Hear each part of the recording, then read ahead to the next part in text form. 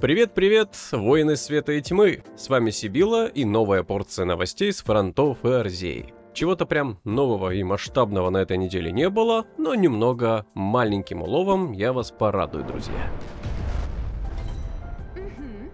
Несколько дней назад разрабы опубликовали сообщение о том, что сворачивают лавочку в плане поддержки и нормальной работы игры на операционной системе Windows 7 32 бита и macOS 32 бита соответственно. Это говорит все о том, что если вы еще пользуетесь данными 32-битными операционными системами, то со временем у вас могут возникнуть проблемы с запуском игры и прочие технические неполадки с самой игрой. И соответственно, чтобы избежать такого, то рекомендуется обновиться до 64-битной версии семерки и macOS Соответственно, в случае, если ваше железо не позволяет это сделать, то играть вы, конечно, сможете, но насколько долго неизвестно. Сделано это было в первую очередь из-за того, то, что безопасность системы уже подвергалась довольно-таки сильным, скажем так, атакам, уязвимостям, ну и в принципе из-за того, что ядро там очень устаревшее. Ну и сами понимаете, 32 бита, ну это уже не камильфо в 2022 году. На официальном сайте игры в системных требованиях сейчас уведомляют о том, что необходимо иметь как минимум установленную Windows 8.1 и выше. Понятное дело, 64-битную версию. Про семерку ничего вообще не сказано. Оно и понятно, так как ее уже официально никакими патчами не поддерживают, и, соответственно, безопасность находится не в защищенном протоколе.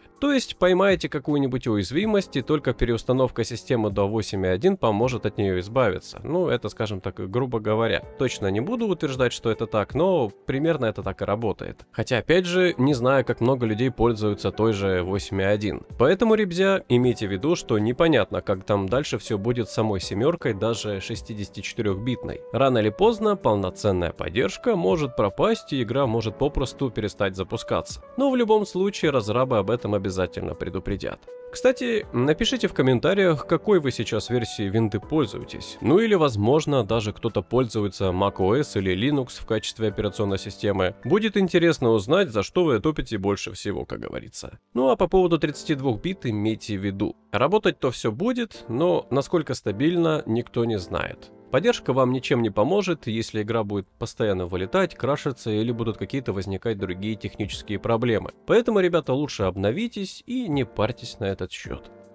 Ну и куда же без новой информации по поводу наших любимых земельных участков, которые вроде бы вполне себе починились. Недавно прогуливался по окрестностям нашей жилой зоны и заметил, что заехало прилично так новеньких гильдий. Половина первого сабварда пополнилась прям так прилично, а то до этого мы сидели там в три гильдии, да и все. Как вы помните, результаты лотереи были опубликованы 16 мая, которая когда-то сломалась для тех, кто получил выигрышный номер 0. Выиграли даже те, кто забрал свои деньги. Но там будет все немного по-другому, об этом Ешида уже говорил, то есть дома заберут и заново переиграют. На халяву получить домик, при этом не заплатив деньги, ну не получится, потому что, ну, рано или поздно ваш дом просто отберут, потому что, ну, ну вы понимаете, да, на халяву получить домик, это, конечно, круто, но нет, так это не работает. И, соответственно, игрокам нужно будет вновь подойти и проверить результаты, и там отобразится верный победитель по номеру. В процессе этого тестового обновления все работало отлично и отображалось без всяких нулей. Кстати, это дополнение как раз таки и вышло 16 мая, если вы помните, был небольшой ход апдейт. Новый период Период результатов лотереи, в котором вы начали участвовать, состоится до 26 мая 17.59 по МСК, и следующий цикл начнется в этот же день 18.00 по МСК. Поэтому не забудьте проверить, если вы покупали билетик на покупку дома.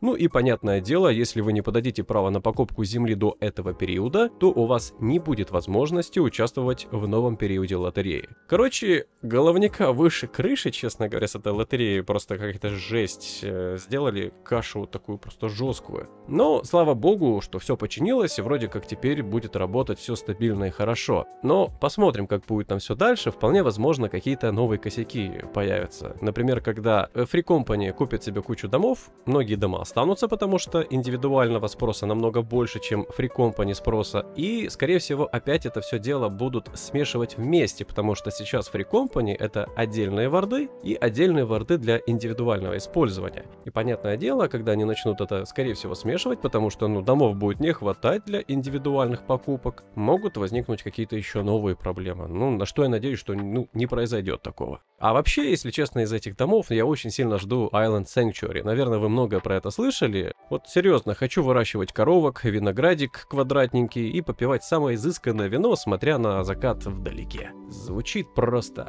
Ммм, здорово. Надеюсь, что отдельно такой хенд-контент привлечет в игру еще больше новых игроков, и, как сказал Ешида, это будет смесь эдакая Animal Crossing и Stardew Valley. Релиз планируется в патче 6.2-6.3, пока точной даты нет, ибо сами разрабы не знают, когда оно все будет готово. Планировали в 6.1, но перенесли на более позднее время. Поэтому, ребята, ждем, пусть все допиливают, чтобы все работало хорошо и прекрасно, зато сразу насладимся прикольным и новеньким контентом.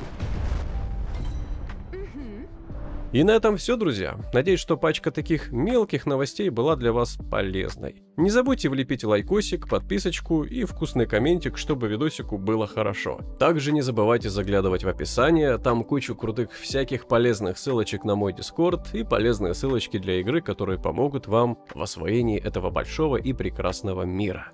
Be smile and happy, my friends. И увидимся с вами на просторах Эрзии.